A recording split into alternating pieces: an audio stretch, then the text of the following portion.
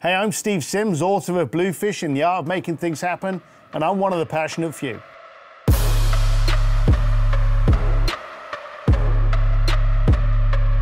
Hey guys, welcome to this episode of The Passionate Few. Today we have on the man who makes miracles happen, Mr. Steve Sims. He's the author of Bluefishing, and you guys are going to really enjoy his story. So, with no further ado, thanks for being on the show today, Steve. It's an absolute pleasure. My man, so tell me, we've heard about you in the industry, the man who makes miracles happen. Where did your story begin? And give the audience a little bit of what you do now.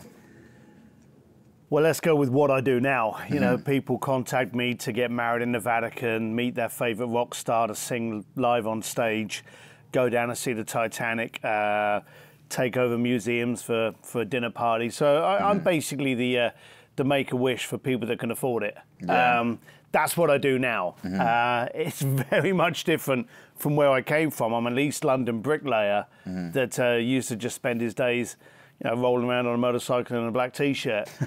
Thankfully, I'm still able to do that part, but what I do now is vastly different from bricklaying and working on a door. That's amazing. And I know you started, you said you were working in construction and then got sick of it. Is that true?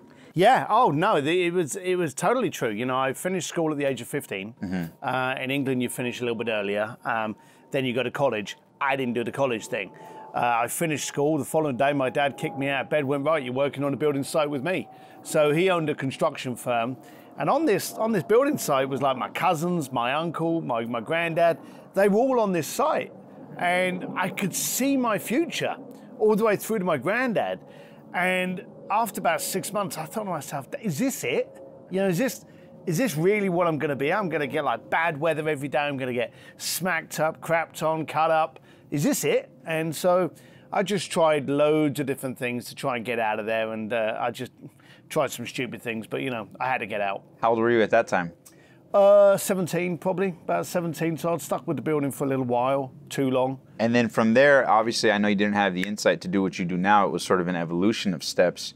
How did you go from being a 17 year old construction worker who wanted more for his life to end up doing what you do now on mega platforms? I think while what I'm doing now is very different, I don't think my mindset has actually ever changed. You know, I mean, I'm an Irish lad from London who always questioned things. You know, why can't we go here? Why can't we do this? Why can't we get in there? Right. That's never changed. And so I was always this inquisitive kid. And I joke now, I'm 51 years old, and I joke that I'm a 51 year old, four year old. Um, I'm constantly questioning, you want to do this? Why can't you do it? While so many people are going, I can't do that, I'm going, why can't I do that? And it's that different mindset that's just allowed me to get into many, many different opportunities. And do you find that that first time, that first breakthrough was when you went to Hong Kong, right? I know there was a, a, a series of events that transpired where you ended up negotiating your way to end up working there. Can you talk a little bit about that? Yeah, I was on a train heading for a building site and um, in London, and this this guy that was on the train was a guy I knew from school, and he's got this sharp suit on. I'm sure if I saw it now, I wouldn't think it was sharp, but you know, from a guy that was dressed up in jeans, just going to get rained on, this guy had it all, and he was an intern in a bank, and this was in the 80s. And we got chatting. I remembered it from school. And I'm like, man, you know, you got the life now. You're working in a bank. You know, you're working with girls. You're dry. You know, you got everything. Yeah, yeah. I'm on a building site with a bunch of old paddies, you know? and for me, his life was brilliant. He told me that they were actually recruiting new interns. And again, this was in the 80s when anyone could kind of get this job. Um, and they were recruiting new interns because they were sending a bunch of people over to Asia into what was now called the Tiger Market. So I borrowed my dad's suit, went in for an internship interview. It was in the it was in this bank. Walked in.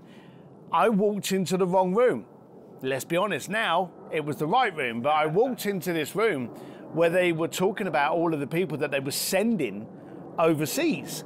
And there was this massive, great buffet, breakfast buffet. And I just remember thinking, well, I don't know if I'm going to get this job, but I'm going to personally challenge myself to see if I can eat this buffet. So I was eating the buffet and I was, they were talking about all the different things that they were doing. I didn't understand any of it, but I just remember them saying one thing near the end. And I'm halfway through probably my third platter. And they guys turned around, they went, make sure the girls at the back have got your name and address so we can send you the pack and the flight. This was back in the 80s and 90s, so security's a bit different now.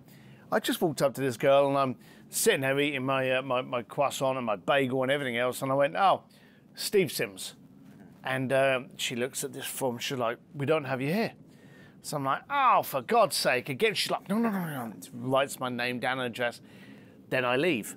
And uh, it was funny. You know, I went back, you know, and I spoke to my girlfriend and never even mentioned this.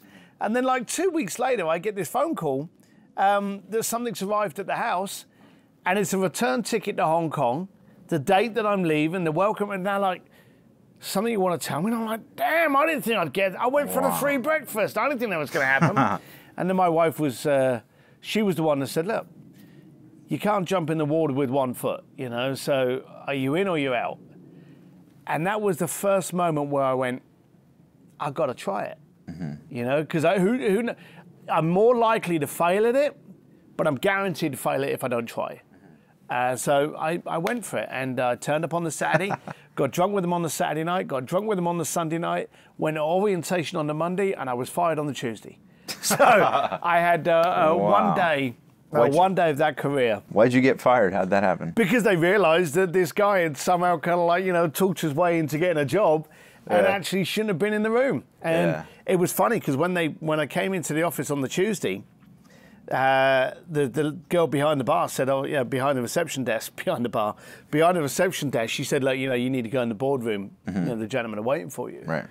So I'm thinking, oh, you know, what's going on? So I walk in there, and there's these two guys. Now I've always been a big guy, and uh, there's these two guys behind the table, and they're like, "Oh, hi, Steve. Uh, take a seat. Um, we can't find your your Series Seven license." And I went, "Ah, no, I don't have that." And they went, "Oh, you know, you must have got the American equivalent. You know, the uh, the 11." No, I don't have that either. Yeah. And you could see him just trying to work out which one of them was going to break it to this big ugly guy that he's just been fired. Right. After one oh, day. Oh, my God. No one needed to because we just suddenly started falling apart with laughter, and he went, "How did you get here?" and I went, "It was a free breakfast." So you know, it was one of those. So you ended up telling him the whole story. I told him the whole thing. I told Yeah. it was the first time I'd ever had salmon for breakfast. So I ended up telling them, and uh, that was it. And they went, "You know, you're fired, don't you?" And I went, Yeah. "Yeah, I kind of got that." Um, but the funny thing was, because they had brought me over there, they had to give me my apartment. They had to give me the apartment, which I shared with two other brokers for I think it was like uh, two months, and they had to give me some severance, which you know. When I got the check, I was like, "Oh, this is a lot of money," but I was in Hong Kong, Right. which was massively expensive. Of course. So that didn't last many days. Um, So you end up staying in Hong Kong at that stage? yeah, I didn't know what I was going to try. And uh, then there was this fateful day that I'm down in this bar and I'm outside and I'm just drinking my beer or my whiskey. Can't remember what it was. And I'm just alone. And I'm outside the club and this, this woman comes over and she said, Look, You've, we've seen you here a few days. And I didn't know where my life was going to be. I was literally just wandering the streets during the day, then going back to an apartment where two brokers didn't like me by then. And um, yeah, that's true because they're they're living with you and they're Oh, like, what the hell? Why is he getting a free me. ride? And yeah, Yeah, they hate me. Um, and so, you know, the woman came up to me and she went, "Look," she said, um, "We've got uh, some people in here, some uh, some foreigners." She said they're, they're being a bit leery. She said we need to get them uh, quieting down. We need to get them out of here. Could you please do it? Because if you don't talk some sense into them, our people have to get involved and they're going to hurt them. right. And um, over there, they, they don't mess around. You know, the, the, the, the security over there, they come out with sticks. Bang, head, car out, you're done. End of problem. So I just went in there, sat down at this table, and these, these about four or five guys are staring at me, biggish fellas. Um, and I went, look, boys, this is how it's going to be. Please pay your bill and leave. You know, you've, you've had your drink, you've had your fun, but you're getting a bit loud. Um, or there's going to be a bunch of guys that run out of here with bats, and you're not going to see Tuesday. So it's really your call. Yeah. Pray I see you walk out the front door. But if not, you've made your own decision. All the best, guys. Get up, leave, go back out front. Uh, As I walked past, I said to the woman, who I didn't know who it was, I went, there you go, I'm done. And I sat down, back to me drink. And they left, and they were like, oh, and she came over, she went, can you be the doorman? I was like, yeah, I got nothing to do. And so Yeah. I started working on the door of the clubs in uh, Hong Kong. Just like that. Just like that, I was the big ugly thing that seemed to be built for the job. And at that time, what's going through your mind? I'm just going to do this for now, wing it, or Yeah, what? You know what? it was always a case of wing it and see. yeah. Um, Looks I- like it turned out not too bad. Well, the funny thing was, I knew that. See, I've never failed at anything in my life. Mm-hmm. I've just learned what didn't work. Mm-hmm. And I'm now in Hong Kong. I'm running out of money fast. I don't have any job opportunities. But hang on a minute. Six months ago, I was working on a building site. Mm-hmm. Surely this is a step forward. So I've just got to be able to see it. Right. Um, so I started looking for that opening. Um, and I started doing door work, and some of the nights the clubs were really low, mm-hmm. and I could see they were low. And if people with money were coming over that were local that you got to see a few times, mm-hmm. you'd tell them not to come in here, walk down the road, speak to, to Omar, and tell him that Sim sent you. Mm-hmm. And um, they'd be like, "Oh, no one ever gets turned away from a club and told to go go to a better one." Right. Yeah. But I was doing that. And then the, the, the, the Mama San and the, the owners of the club were like, What are you doing? I'm like, They're going to come in here once, they're never going to touch you again. But now I can guarantee they're coming back Friday because I told them Friday's the night. Right. So now the job is to make Tuesday the night as well. Mm-hmm. So we started kind of just throwing some cool parties during the week, getting different crowds in. And I started without realizing it, building up a network. Mm. And then the network started to get bigger. And then I had a few people going, hey, we want to throw a birthday party. Or there's a party going on at the yacht, but I don't know how to get in. And I'll be mm-hmm. like, I'll try, you mm-hmm. know? And then I'll get them in. I'll go, oh, it's two grand. There are mm-hmm. four people, 500 bucks a person, two grand. Mm. And they'll be like, great. I realized very easily that people like paying for things. It's a very easy transaction. Right. If I come up to you and I go, hey, you know, can you do me a favor? And I'd, I'd really like you to do this. But if I'm more transparent and can come up and go, hey, I need this, this, this, um, and I'll give you two grand for it. Does that work for you? Mm-hmm. Then it's an open and closed case. Right. Yeah, that works for me. Fantastic. It's a win win situation. You know what you're getting out of it now. I know what I'm getting. It's just a simple transaction. And that's that's what I found so easy, yet that so many people were avoiding doing. And what's really interesting about that is that, as fascinating as it is, you also build a reputation of being trustworthy. So you're building a network, but you're also building it from a place of, um, I guess, respect right from the get. So now you have leverage and connections that trust you and respect you, and then you can leverage it and build things out of it. Is that correct? Yeah, I never went. that sounds very silly to say here on film. I never went for for trust and respect. Right. Um, I always went for transparency. I wanted it to be impossible for you to misunderstand what I wanted, and I find that that trust um, comes when you feel comfortable and confident about mm-hmm. something. True. And you're co- comfortable and confident about something when you understand it. Right. So there's this this this strange guy in front of you with his earrings and his tattoos and that, and he's asking you for something, mm-hmm. but making it crystal clear what he wants and making it crystal clear what he can offer. Mm-hmm. This is an easy thing to understand. It either resonates or it doesn't. Right. Um, and I think that's where the trustworthy came because I'm a great believer. I'm smarter in my stomach than I am in my head. Mm-hmm. So if I meet someone and my head goes, well, he's got a 20 grand watch on, you know, he's looking sharp, that's a Prada suit, he's got a haircut, he's talking suave, he's saying big words. Mm-hmm. Okay. But if this little fella here is going, something's not right here, mm-hmm. that overtakes. Because every Right. time I've trusted that, I've got it wrong a few times. Mm. But this has never let me down. And where did that gut take you once you started building that relationship and those networks and those parties and kind of charging people for favors? How did you decide to scale that or to keep running with it? I mean, what was what was going through your mind at that time? So this is where any credibility that I had is, is just goes out the window. I had this idea that if I knew a lot of rich people, mm-hmm. then they would give me a job. Right. So it's no good marketing to poor people because they can't afford you. Mm-hmm. So, you know, I would market to rich people. Right. That seemed to make sense to me.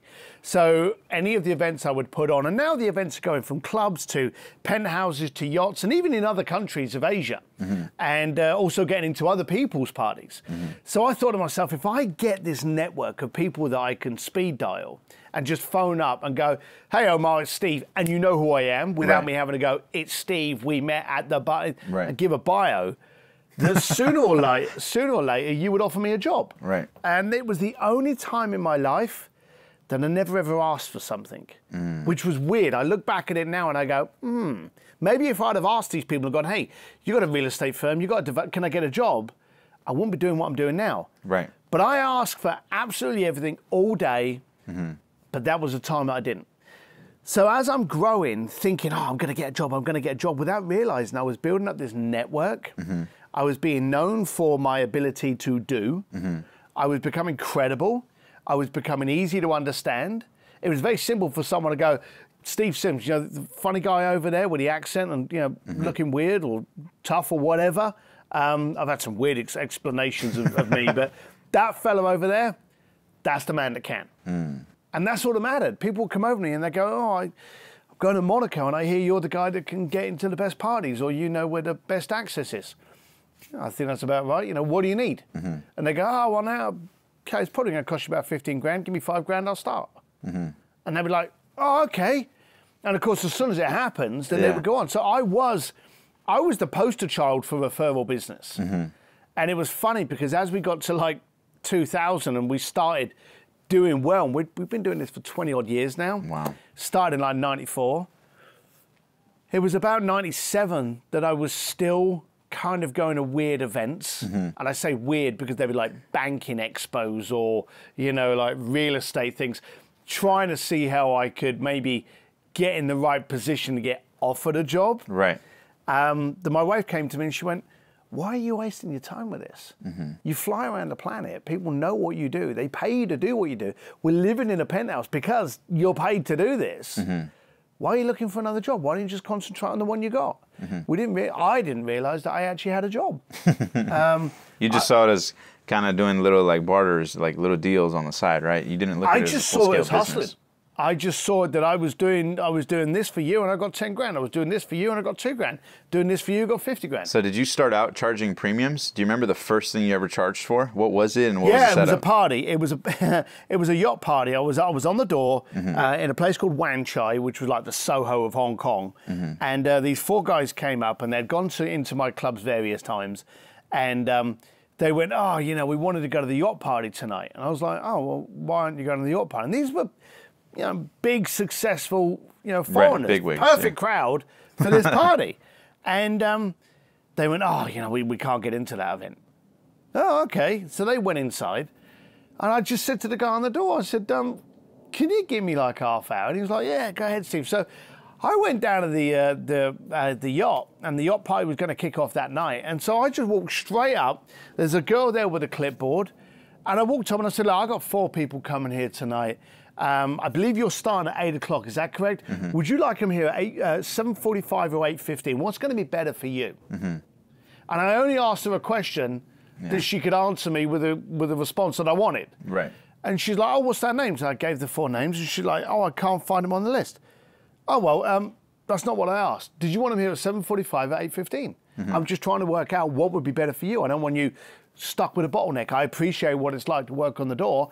I've been there. Right. And she's like, "Oh, um, 8.15, let me just make a note of their names again. So she wrote the names down. I said, thank you so much. And I just put my hand in my pocket, just gave her 100 bucks. I said, thank you so much. I appreciate that. And she was like, oh, um, here's my card. And I was like, great. let me know of any other events you got going on.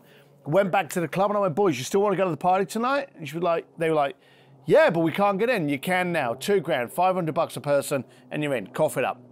And they literally went, there you go. And I went, Wow. good. You speak to Michelle, look after her on the door because she's a nice girl, and have a good night. Then I went back to my door and they kind of like stepped out and they're like, cheers, Steve. I was like, see you later. And they didn't come back. And then two days later, they were like, I don't know how you did that, but Michelle thinks you're great.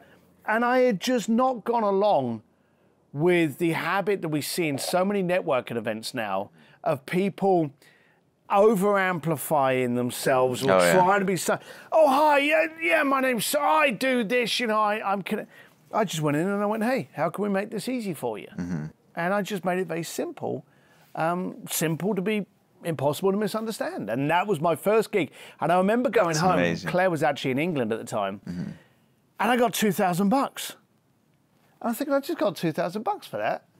All I did was walk up the door, and I, all, what I couldn't get out of my head was why they hadn't walked up to the door. Right. They were affluent. They they looked a role model. You know, they, these were four good-looking, affluent lads. Uh, they had money. They had all the trinkets. They had the watch, the suit, the business cards, the title, the expense account. They had everything. Right. These were perfect people to be in your party, but they hadn't just walked up. They had neighed themselves to death that this was an impossible event that they couldn't have gone into. So that was my first. That was my first eye opener, and um, it's got bigger over the years. Right. The events I've done. And of course, every time I do something that's large, I just go, huh, how the hell did I get in there? Oh, well. And of course, like then the next one never looks as big or scary. What's been the most, uh, I'm sure you've been asked this, but what's been some of the most memorable ones? I know there was one involving And- Andrea Bocelli. Uh, can you share a little bit about that and any other one that might have been my, like, my duet buddy. Um, so I had a client that uh, he's worked with me many times before, so he knows people, people come to us with a dream and then we bluefish it. You know, we go, well, okay, that's very nice, but that ain't gonna cut it. Let's see how far we can take this. And we always try to go up. So this guy came to us. He said, I'm, I'm, I'm visiting Florence, uh, Italy. I want to go to an exclusive restaurant. Make it happen.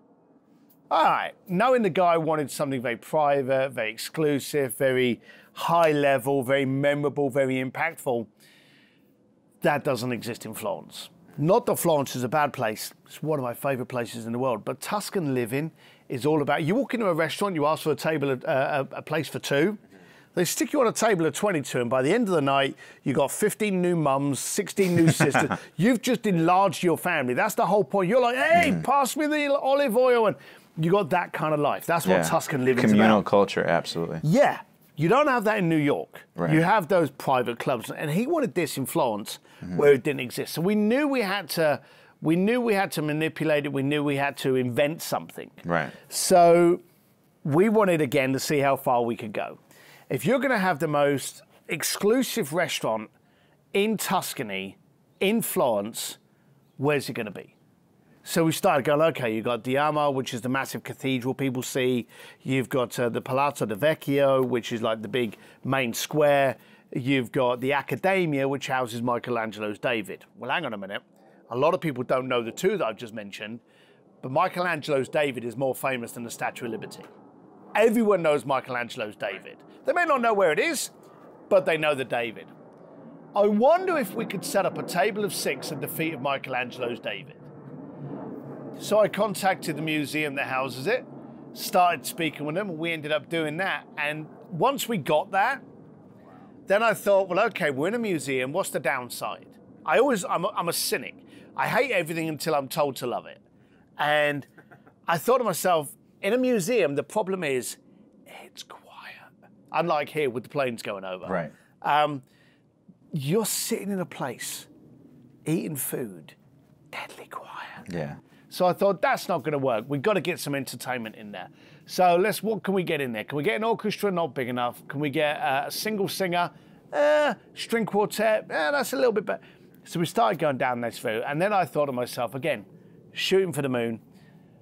What would be the most amazing, knock your socks off, wake you up at two o'clock in the morning, sweating, going, "Holy shit! I can't believe that happened." Right. Let's get the most famous Italian singer ever to sing for us. Yeah. That's like being in America and, and waking up Elvis and having him sing for you, you know? Yeah. So we reached out to Andrea Bocelli's people, mm-hmm. told them what we were doing, and a few few steps went through. But we actually got Andrea Bocelli, and I told my client I've got a local singer to come in. So my client didn't even know who was coming. No clue. So I just I went over to him at the table and I went, look, we had the string quartet going, and I said, I do apologise. Um, we had a singer coming, and I love doing the anticlimax. thing. Right. We had a singer coming in, uh, but he hasn't turned up. I've managed to find a new one. I've got a local singer. I believe he's good. Let's see. Are you okay with that? And he's like, "Uh, "What are you doing, Steve?" You know. And I'm like, "Should be okay. Everything should be fine." So then I walk back and I'm like, "He's here now." And so he's like, "Ah." So then all of a sudden, Andrea Bocelli gets escorted out, to, and they're like, "Oh my god!" You know. So then he uh, then he serenaded the clients, and he did about a thirty, maybe a thirty-minute set. That's you know, singing some of his things with a string quartet and a piano. How did you get in touch with uh, Andrea Bocelli to set that up? Well, that's not the question. Um, anyone can. You know, you can go on now and you can Google contact Andrea Bocelli, and you'll get his fan club, you'll get his Twitter page, you'll get his agent, you'll get his manager, and all of these people won't get you anywhere closer. Right. So I'm a great believer in piggybacking connections. So I had been working at the Vatican Um, and I've been doing some stuff for, for a client there that wanted to get married in the Vatican and blessed by the Pope. We're, we're going to get into that one too because we definitely want to hear that story. All right, that's a pretty cool gig. Um, so my question was that I needed to get hold of Andrea Bocelli. I only had two days in order to be able to do it. So what I did was I phoned up the Vatican. I went, "Have you ever worked with Andrea Bocelli?" And they said yes. I went, "Well, okay then. Could you do me a favor? Make a phone call, tell them I'm real." And they went, "Okay." So they phoned up Andrea Bocelli. Of course, when the Vatican phones you, that's a pretty good phone call to have. Right, right, right. And um, they mentioned me, and they ended up phoning me, and they said, "What time would you like in there?" Nine o'clock, please. Now the funny thing That's was, incredible. the funny thing was that we had two days. Right. With time zone difference, we only had one and a half. Mm-hmm. For banking days, only one whole day. So I told her, look, you know, I'm pleased you're coming over. Let me know what this is going to cost. Mm-hmm. So she gave me a number. That's fine. I, I have to be honest with you, though, we have a problem. She said, What's the problem? And I said, Well, my bank in America, Los Angeles, we're now here in, in Italy. Mm-hmm. By the time I push this through, it's only going to be one banking day. You'll get it in two days, but that means basically with the time zone, you're going to get it the day after mm-hmm. you've performed. Mm-hmm. Is that a problem? And she turned around, Andrea's wife, and she said, Based on who it was that phoned us up, I think you're good for it. so, with the standing joke that we had on Andrea Bocelli that night on credit. So, uh, it was a pretty good gig. That's unbelievable. And then, it, how did that relationship first build with the Vatican? a lot of people, um, a lot of people nay themselves uh, and are very scared of things. Get in their And- own way, yeah. Oh God, yeah. Greg Reid says it the best. That he said that it's the size of your but that stops you going forward. You know, but I can't do this. But I can't. I don't have enough money. But I'm not good looking. Me, I've just stepped forward. and I'm worried about the rest later. Right. And when I got approached and they wanted to actually um, do something in the Vatican, the first thing I did was like, well, okay, I've got to get someone uh, doing something with the Vatican. What's my first step? I've got to talk to someone that's Catholic. That's kind of a, an obvious but easy Mm-hmm. Right. step. Step one. Yeah. You know, so you phone up someone as Catholic. I phoned up my local church, and I went, you know, what needs to happen in order for me to get here? Mm. And um, you get a few people going, oh, I don't know. Oh, I can't help you with that. Oh, no, that's too big. You know, you're constantly dealing with naysayers. The more Right. people say that it can't happen, the better, because it makes me look brilliant. Right. Okay. As soon as people realize that all it is is a question, you've just got to ask the right question to the right person, then I'm out of business. Right. And I, I hope one day I am because I'd like to live in that world. Um, but then I started phoning up people, and then I started thinking, well, the Vatican's in Italy, therefore I've got to speak to people in Italy. You know, so these were just obvious steps to me. And I ended up speaking with a family in Florence that are, are very powerful. And I said, look, you know, I'm trying to do this at the Vatican. I've got to, I've got to be able to speak to someone that's in a connected state that they're going to take me seriously. Mm-hmm. I said, "Do you know anyone that's, you know, connected with the Vatican that could help me? As luck would have it, and they all say luck is, you know, hard work and position, they turned around and they went, that would be us. We can make that call for you. Wow. I said, well, okay, you can make that call for me. Will you make that call for me? Mm-hmm. And they went, yes, we will. Great. So, you know, then uh, then you've got to make sure you do something for them. Right. But getting, getting your foot in the door is one thing. Being so irresistible that they don't want you to leave, that's a completely different bowl of soup. That's where the art begins. That's where the art begins. You've got to make sure that when you go along with someone, you educate, entertain, and uh, uh, engage the person. Um, you've got to make sure that they know very quickly why are you there, and more importantly, what's in it for them to keep you there. Right. And I think it's so important because a lot of people miss that. Would you agree? Is that instead of focusing on what they get out of it, you've got to be able, when you connect with people, to make it win win. They have to win, they have to benefit. And if you don't have that value, you're not going to get very far if you're just focused on what's in it for you and I need this and I want this. Would you agree with that? 100%. You know what's in it for you. Mm-hmm. And here's a couple of things where your gut comes into it again. You know what's in it for you. So when you're on the phone with someone, mm-hmm. you're just waiting to lay it down what's in it for you, what you want. Right. Okay? The other person knows that there's something in it for you because you phoned them, Right.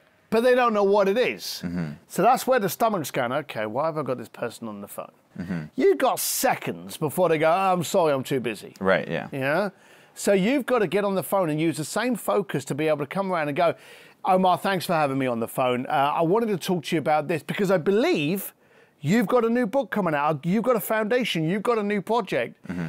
I believe I can help you with that. Mm-hmm. Now, I've got an ask, but I'm hoping that we can marry the two that is of benefit to you Right. Make it win-win. straight off the bat, hit them up. And I believe getting it out in the open mm-hmm. sells that little fella in your stomach, and they can go, he wants this. And he's going to give me this, or he's going to work on this. I can deal with that. I understand that. I've got no suspicion. Right. It's crystal clear why this clown's in front of me. All right, I can live with that. Yeah. Transparency breeds trust. Absolutely. Transparency is brilliant. Screw authenticity. I think authenticity is just a coffee mug and a and a mouse pad logo, uh, logo that we had because we were tired of 10x and everything. Yeah. Last year it was 10x. The year before it was hacks. Do you remember everything was a, Yeah, a life, life hack? hack, yeah. Um, so we had 10x. And then this year it's authenticity. God knows what it'll be next year. next year's probably going to screw me up. Next year's probably going to be transparent. Uh, I gotta ask, what was the story with the Pope? Someone was blessed by the Pope. Is that one of your clients? Yeah. Talk about, a little bit about that one. So we, um, he wanted to get married in the Vatican. So he, he calls you or you call him? He called me. We get we get a lot of people. You know, our website doesn't have a phone number. Right. You know, we are the epitome of a referral business. Mm-hmm. And when our clients start realizing that we can, mm-hmm. they just start dreaming. They get a couple of whiskeys in them, and then they phone you up or text you at two o'clock in the morning, going, "I was watching Mission Impossible where he scaled up that building in Dubai. I want to do that on Tuesday." Nine times out of ten, they wake up in the morning, they go, please delete that text. I do not want to do that. But you get some of them that go, I do fancy that. You know, I do want to do those things. And we go, all right, be careful what you wish for. So we had this client that wanted to get married in the Vatican. We went through a number of steps to find people that could get us in front of the Vatican. I spent about three months flying in and out of Rome, speaking to people, um, getting through that red tape. And the deal was that we wanted to get this ceremony done in the Vatican and then have the Pope come through halfway through uh, during the, uh, um, when you give your, um, your testimonials and when you give your speeches.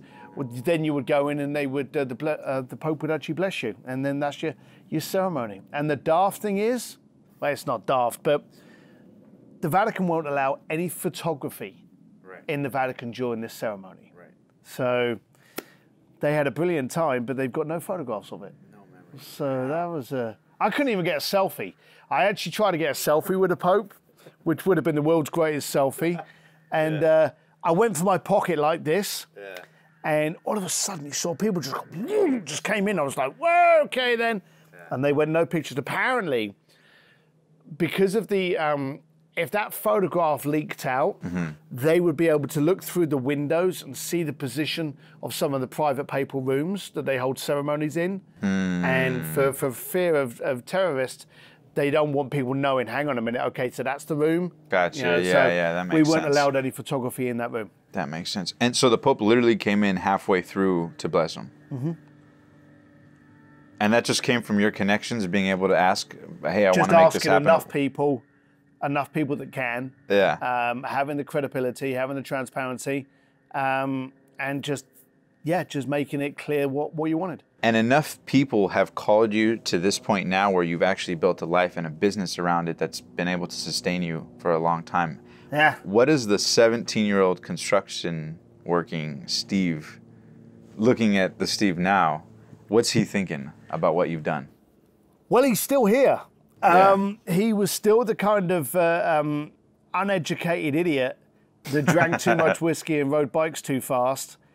He's still sitting here on this couch, bewildered that A, he's in some of the rooms he's in, but more astounded why people aren't doing it themselves. Uh, I, I physically just go numb when I meet someone and they go, I would like to do this, but I can't do that. I don't have enough money. I don't have your connections. I don't.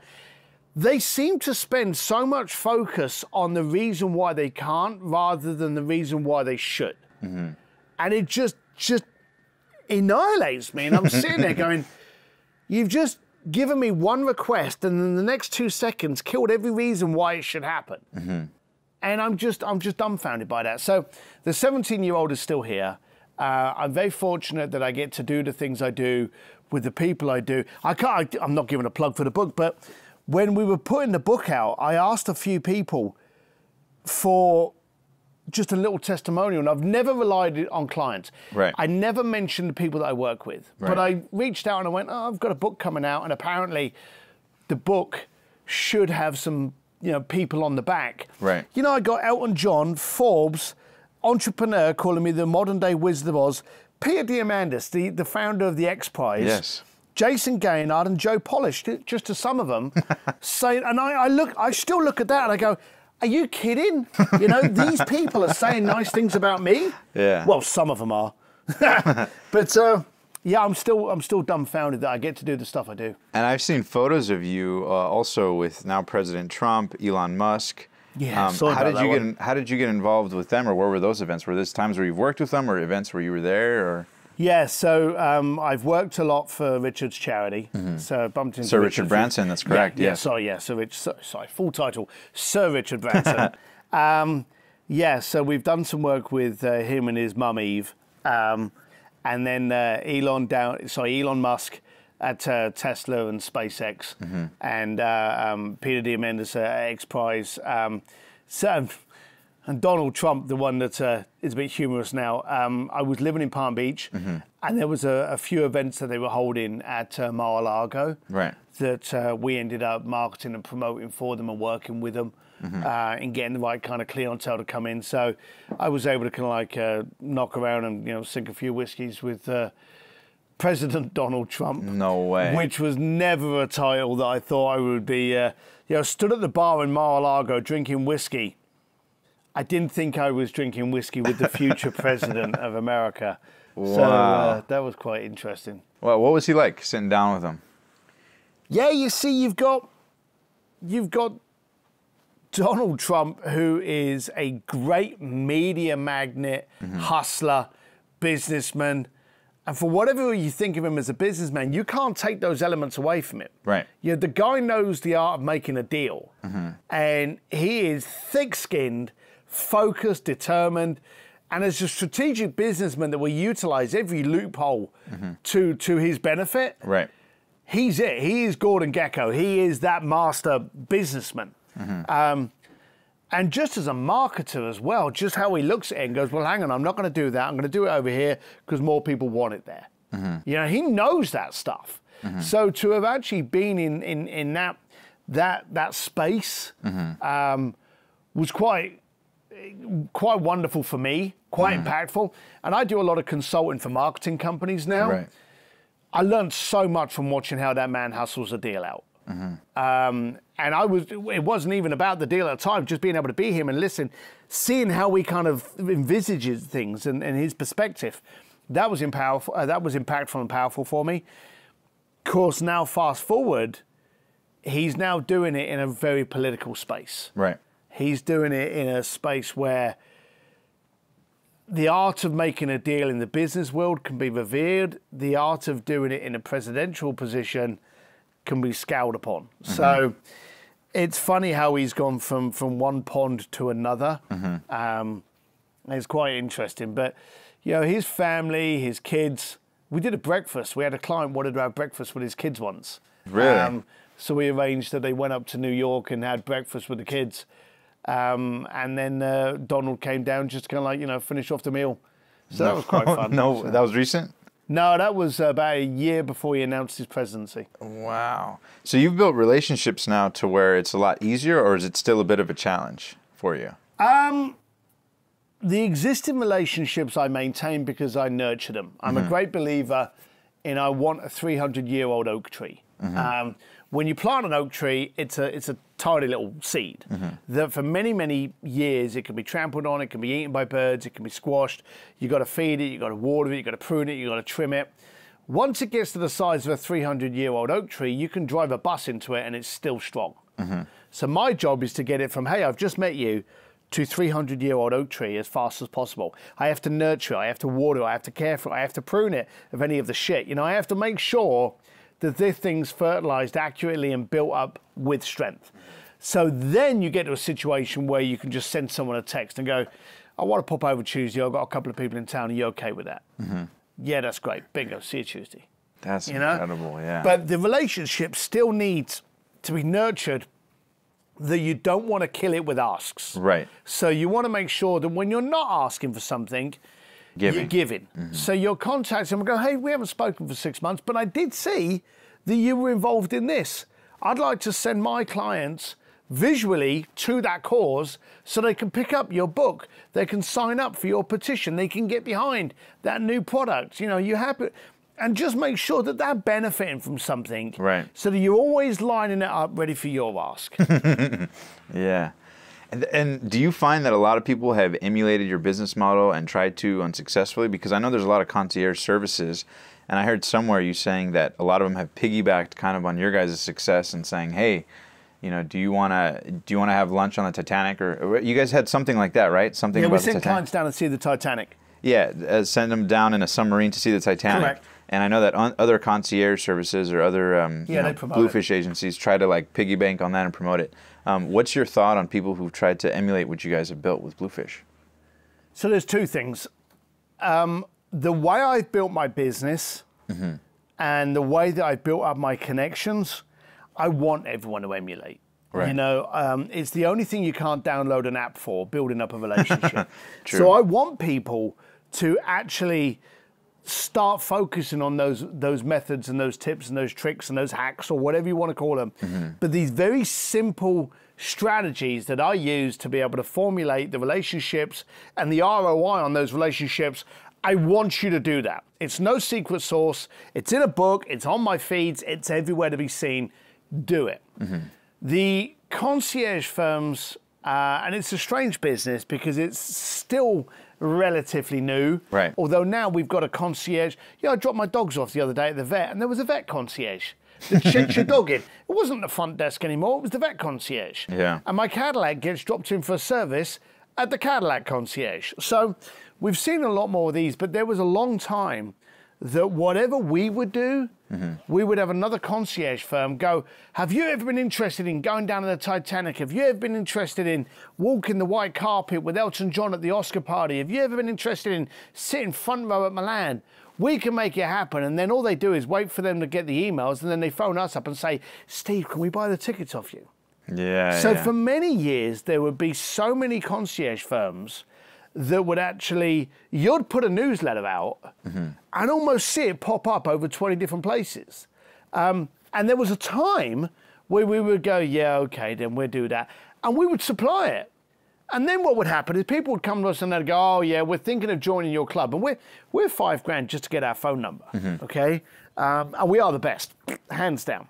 Um, but they would come to us and they'd say, I'm not sure about joining. And I'd be like, well, why not? Well, Johnny over there does the exact same. Right. And he doesn't charge membership, or he charges two and a half grand. Mm-hmm. And we'd be like, but hang on a minute, Johnny gets the stuff from us. Mm-hmm. But they don't know that. Right. So we actually stopped allowing these concierge firms. So we'd get concierge firms going, hey, I got clients who want to go to the Milan Fashion Week. Bully for you. Spend 23 years getting a relationship to make it happen and send them there yourself. Yeah. So we would stop. And we've had some people actually be very, very sneaky. They've actually joined membership to get the access to then send to their Mm-hmm. Ah, clients. yeah, we yeah. found that out and we've killed the membership. So Wow. we're very private on, uh, uh, we're very careful on who we allow to be a member.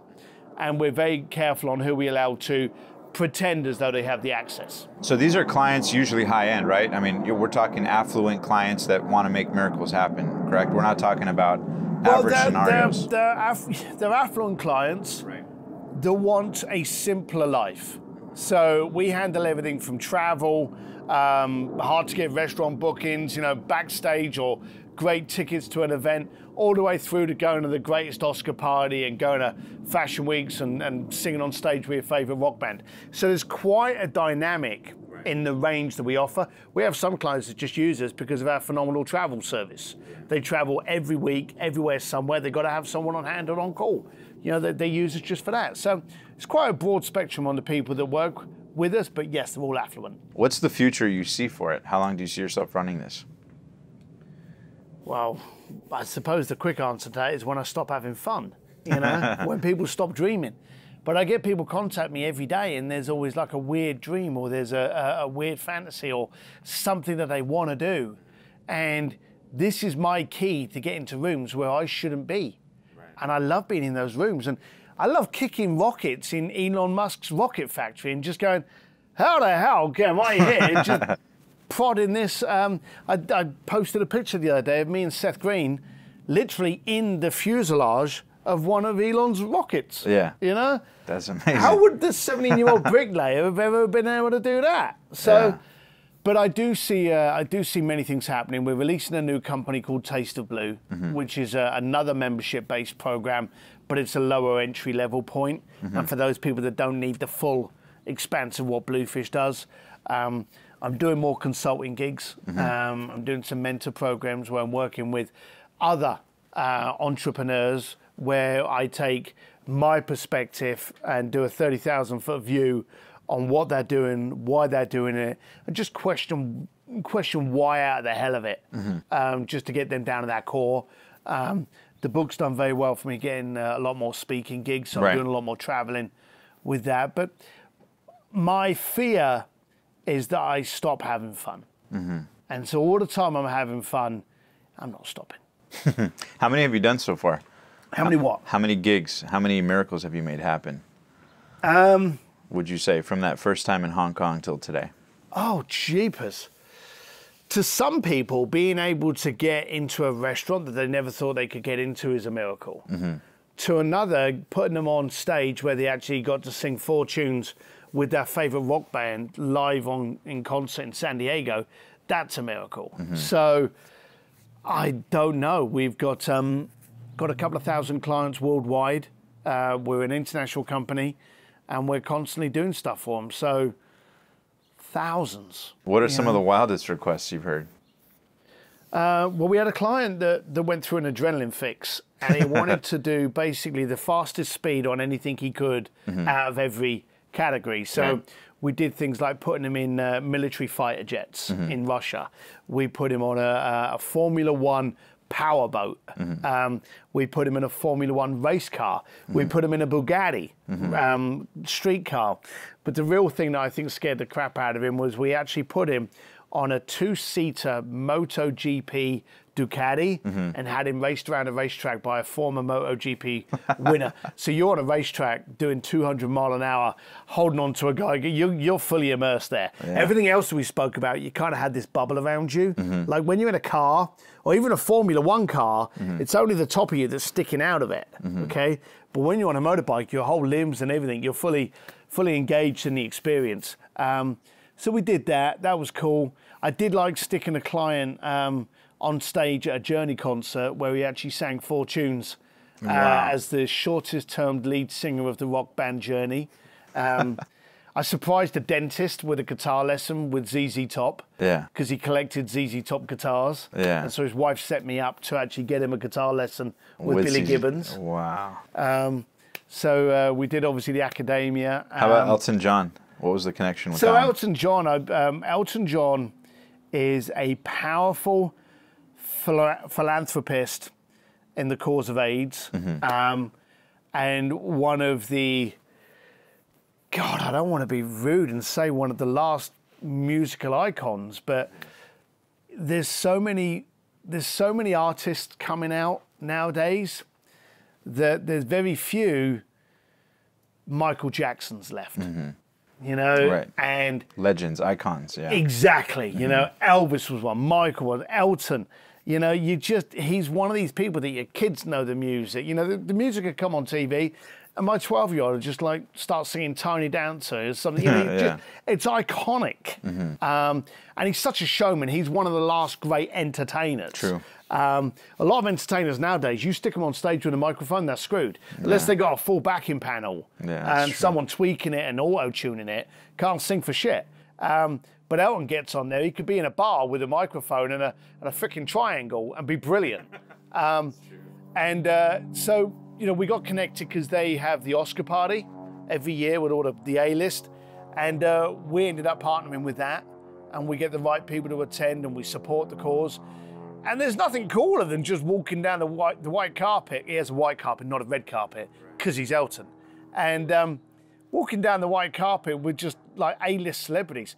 I actually, I'm always stunned at where you get. And we touched on this earlier, where you get impactful advice from, because we all know powerful speakers and entertainers that can drivel on for two hours, and at the end of it, you go, "That was wonderful." but I got no actionable advice out of it. Um, and then there'll be someone stood in a line at a Starbucks that will just say something to you, and you'll go, "Why haven't I done that?" You know. So it's always interested me where I get this advice from. I was on the white carpet, and the uh, the media the media lineup was ready. The celebrities were dripping in. Now, what you don't see on TV is they're all bunched up, and they're eked out so that they don't all come out at once. So, you know, they wait for the flow out and then they call the next, and so on. Steven Tyler was in front of me.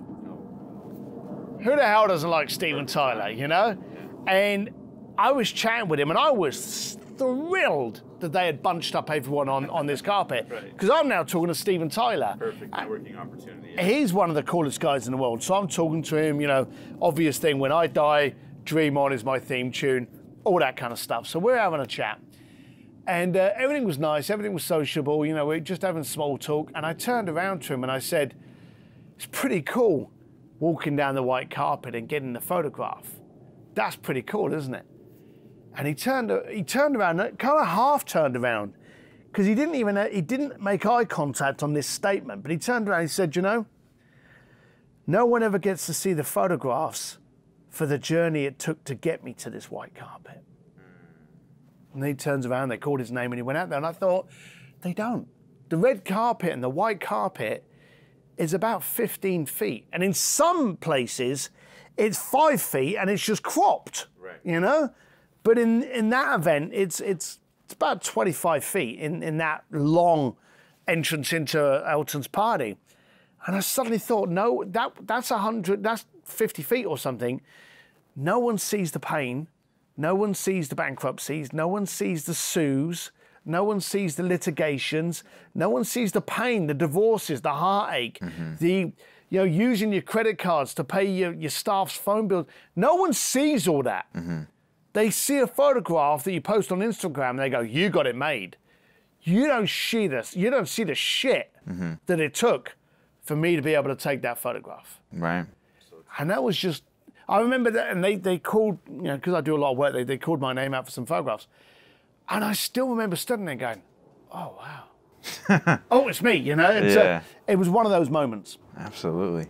Now, what do you think that people, or what do you hope people take away from your story, not just in the book, Bluefishing, The Art of Making Things Happen, but for people out there that, you know, are maybe in that position that you were at 17 where you wanted more for your life and didn't know where to go, and they might be listening to this podcast or watching this episode, what advice would you offer people who are just kind of lost and want more and don't know where to go?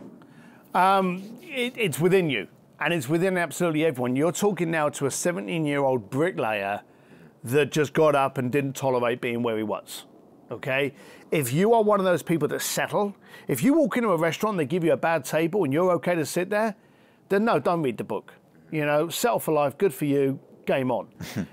I'm talking to the people that go, hang on, I want a better table, to walk up to the maitre d' and go, excuse me, I need a better table than that. I'm not willing to sit at that table.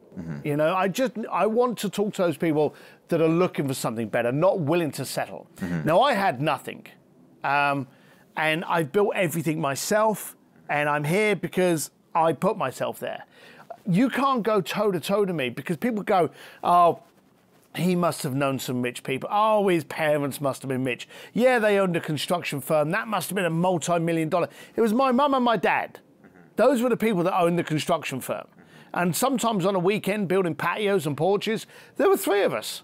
You know, so I didn't have the things that you want to give your natural excuses for. Right. So get out of the way of your excuses, get out of the way of the size of your butt, and just do one thing that gets you a little bit closer to where you want to be mm-hmm. than you are now. That could be Googling it, that could be reading a book on it, that could be um, buying a t-shirt. If you want, if you want a, if you want a Gucci shirt, a, a Gucci suit, maybe buy a Gucci belt or a Gucci pair of socks. Just get yourself one closer. I had a client of mine that had always wanted to stay in an affluent hotel, and they were uh, a, a mentoring client of mine. And they said, Oh, I've always wanted to stay in the Ritz Carlton. Yeah. All right. So I took them there for tea. Literally just took them there for afternoon tea. Yeah. And we had tea, and I went, You now know what it's like to walk through. You don't know what it's like to stay in a room. Mm-hmm. You don't know what it's like to check into the front desk. Mm-hmm. You don't know any of that, but you now know what it's like to walk through the front door and walk out the door. And all this cost me a couple of sandwiches and a cup of tea. But you've got the experience. So I'm telling people now, get out of the way of yourself. Stop thinking it's impossible because if you think it's impossible, it is, and it's only impossible until someone does it. So just go forward and try the first thing. I love that. And then at the end of every podcast, we always play a game called First Things First. So the way the game works is I'm going to list off uh, 10 words or phrases, and then you tell me the first word or phrase that comes to mind. Does that make sense? It does. We got a game now. That's right. so the only rule is that you can't repeat yourself twice. Okay. Okay? So I'm going to rifle through the 10. You ready? All right. First word impossible. Until someone does it. Second, passion, If there's no passion, there's no point. persistence, It's fuel. relationships, Best thing in the planet. money, Pays the bills. fear, To be where I am next week, where I am today. Fear makes me want to go forward. blue fishing, The art of not seeing it impossible. your past, A good story. your present, The next chapter. and last one is your legacy. Activating people to not accept where they are. I love it. That's a wrap. Mr. Steve Sims, thanks for being on the show today. Cheers, pal. Thank you guys for tuning into this week's episode, and be sure to check out Steve's book, Bluefishing: The Art of Making Things Happen, if you guys want to hear more. As always, I want to encourage you guys to live strong and live with passion. We'll see you guys next time. Peace.